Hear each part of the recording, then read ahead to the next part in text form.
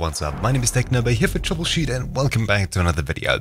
In this quick video, I'll show you how to preload Battlefield 2042 on Steam because it's supposed to be something you're able to do today, but of course if you fire up Steam you may see something like this and restarting doesn't help it. In order to preload Battlefield 2042, click the Store Page button to be taken across to the entry on Steam, scroll down, and on this page over here you'll see Join the Battlefield 2042 Open Beta.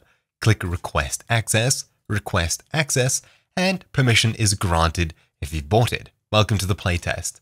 Head across to your library and you can now see the Battlefield 2042 Open Beta.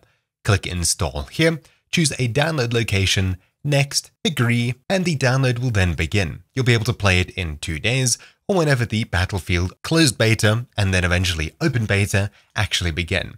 Now, of course, I'd recommend keeping these game files past the beta as you'll likely be able to use them in the full version of the game to save yourself a couple of gigabytes of downloading. I'll be doing a video on it, especially if you can keep any files from this, saving you probably up to 19 gigabytes of downloaded content from the full game download, which will probably be in the 40 or 50 gigabytes.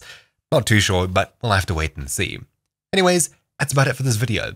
Thank you all for watching. If you're watching in the future and that video has come out when the game fully comes out sometime in November, then you'll find a link down in the description below to that video. Thank you all for watching. My name's been Technobo here for TroubleChute, and I'll see you all next time. Ciao.